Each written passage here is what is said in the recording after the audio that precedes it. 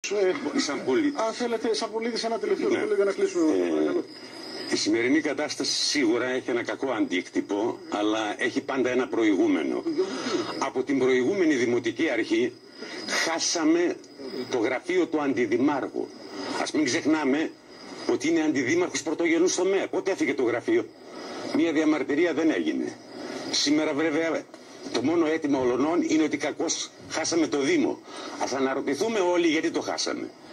Πρώτον. Δεύτερον, όταν ξεκινήσαν οι κινητοποιήσεις διεκδίκησης του Δήμου, το 10, ποιοι ήταν υπέρ από όλους τους ομιλούντες, Πού βρισκόταν όταν γινόταν οι πρώτες κινητοποιήσεις; Αυτά είναι φυσικά επακόλουθα.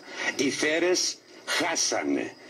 Πού είναι το, δημοτικό, το τοπικό μας συμβούλιο; Επί 10 χρόνια έχει κάνει ένα τεχνικό πρόγραμμα του πρώην Δήμου Φερών. Ένα μικρό προϋπολογισμό βάσει των εσόδων που ο Δήμος Αλεξανδρούπολης παίρνει επιχορήγηση από το Δήμο μας μέσα στο σύνολο του προϋπολογισμού του.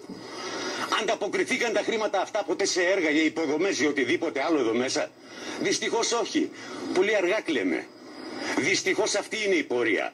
Φθήνουσα.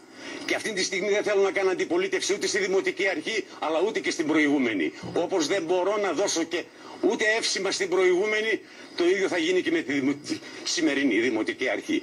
Τα πρόσωπα δυστυχώς, οι οποία, τα οποία αντιπροσωπεύουν τις σφαίρες με οποιαδήποτε Δημοτική Αρχή, είναι λίγα των Γιώργο, να, περιστάσεων. να ολοκληρώσουμε έτσι, σε παρακαλώ. Να σας ευχαριστήσω και εγώ, να σας ευχαριστήσω και εγώ όλους. Δυστυχώς δεν έχουμε άλλο χρόνο. Δυστυχώς δεν έχουμε άλλο χρόνο. Φυσικά Είναι ο θα, χρόνος των επαγγελματιών.